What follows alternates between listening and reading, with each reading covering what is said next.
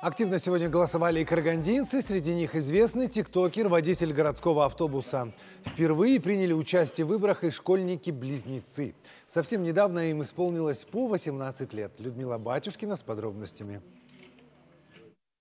Айдос Аринов – самый известный в Караганде водитель маршрутного автобуса. В ТикТоке у него 122 тысячи подписчиков и больше трех с половиной миллионов лайков. Карагандинцы любят его за позитивные ролики и веселые акции, которые он периодически проводит в своем автобусе 43-го маршрута. Ну, сегодня тоже размешу пост, э, но, возможно, не будет с юмором.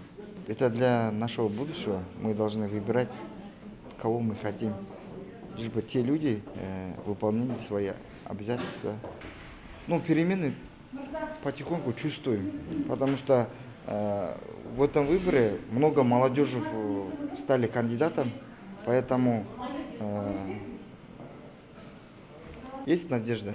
Близнецы Мадияр и Данияр Армия пришли на избирательный участок вместе, как всегда. Братья неразлучные признаются, что если один куда-то уезжает, второй начинает болеть. Принципиально одевают разную одежду, иначе устают от чрезмерного внимания окружающих. Сегодня ребята голосуют впервые. Всего месяц назад им исполнилось по 18 лет. Мадияр старше на 10 минут.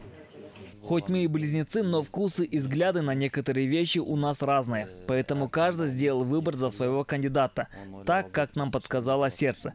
Главное, чтобы справедливость победила и не было коррупции. Важно, чтобы достойный депутат был избран, который бы честно выполнял свои обязанности и внес свой вклад в развитие нового Казахстана, чтобы был справедлив.